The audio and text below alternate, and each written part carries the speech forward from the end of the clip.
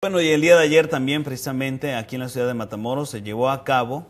este, un evento en el cual el CONALEP, de aquí de la ciudad de Matamoros, festejaba el 30 aniversario y con esto, bueno, pues invitaron a autoridades para que se dieran cuenta de cómo se está trabajando en este plantel que ha hecho una gran inversión para que el alumnado esté trabajando de mejor manera. Y obviamente hubo la inauguración de aulas, de nuevos talleres y para ello el profesor Miguel Tello, habló acerca de lo que ha sido la inversión precisamente en este lo que ha sido el periodo de su administración ahí en el CONALEP. Dentro de todo programa de la parte de la parte cívica y la parte de reconocimientos al, personal administrativo y docente que cumplió 25 años o más dentro de la institución,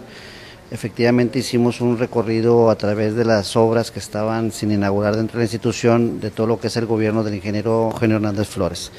Iniciamos por hacer un recorrido de, la fachada principal, donde hay una inversión aproximadamente de 268 mil pesos, que es la fachada principal, que incluye los jardines y andadores de los jóvenes. Este 128 metros de, cordones y banquetas, 320 metros de barda perimetral. Eh, posteriormente nos trasladamos a develar lo que es la placa conmemorativa del 30 aniversario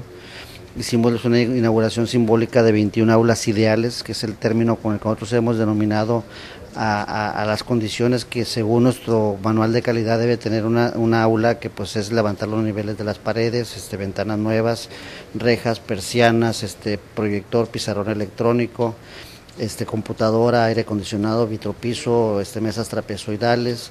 este, puerta de aluminio. Hay una serie de obras que, en realidad digo supera los 40 millones de pesos lo que, lo que en cinco años se ha invertido, un poquito más de cinco años se ha invertido en esta institución educativa. Esta inversión que bueno es a través de programas de peso a peso Federación Estado, que es a través de Gobierno del Estado,